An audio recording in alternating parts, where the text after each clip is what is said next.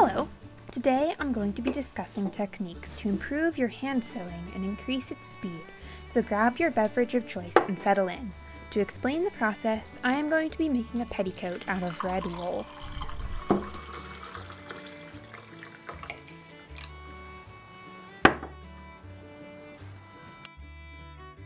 Before you even begin sewing, it is important to cut your fabric carefully.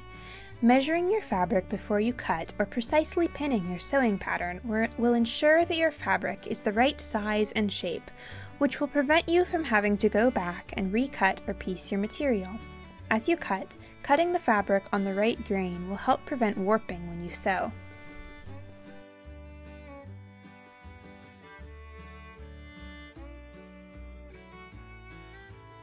Once your pieces of fabric are cut out, it is useful to iron them smooth, which will make pinning and basting easier.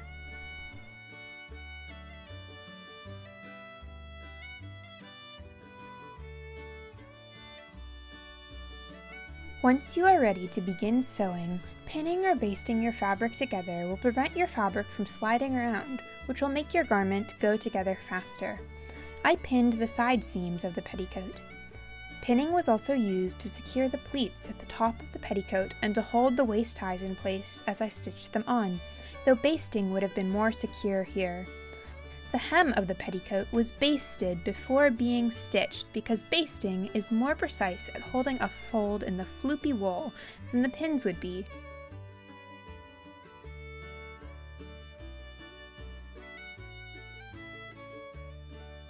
Basting can also be ironed in place for extra security, as I did with the hem.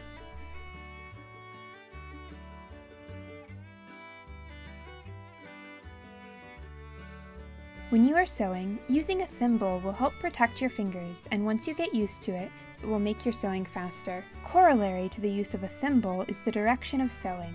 Your thimble should help push your needle through the fabric, so stitching from your dominant hand towards your non-dominant hand will make your sewing more fluid.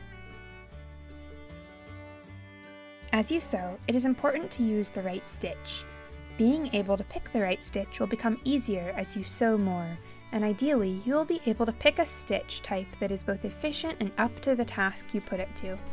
For the side seams of my petticoat, I used a mixed running back stitch.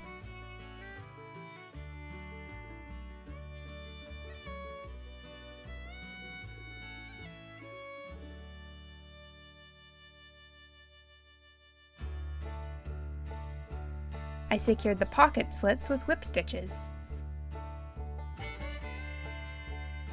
The waistband was also secured to the petticoat with whip stitches, but using a heavier thread that would support the weight of the fabric.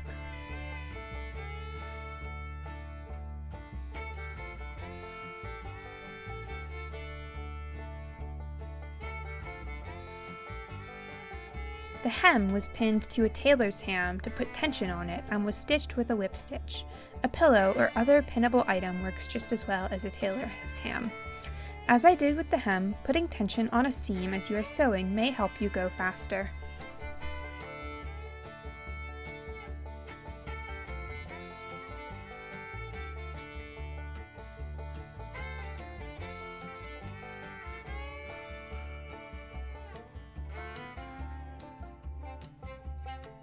Using the techniques I mentioned in this video, I also made a petticoat in linen and timed myself. It took about 6 hours and 45 minutes from start to finish to make this petticoat, and you can check out the description box for a further breakdown of this time.